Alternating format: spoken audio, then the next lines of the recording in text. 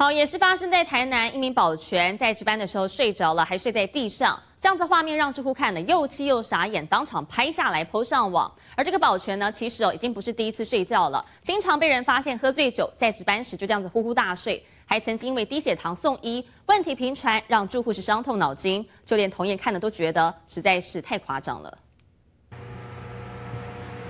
走进值班台，就看到保全穿着制服躺在地上，但他不是因为身体不舒服晕倒，而是竟然在睡觉。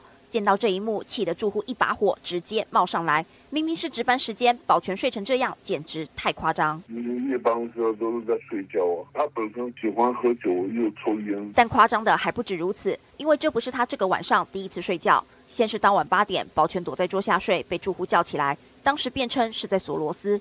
接着到九点又被看到一次，这位保全干脆不回答。没想到到十一点他还是继续睡，被叫起来后依旧辩称没在睡觉。直到接近一点，四度被住户发现，气到直接录影。他血糖过低，然后喜欢喝酒啊，就常常睡在外面了。会不会觉得很困扰啊？有啊，有困扰是因为爱喝酒，然后。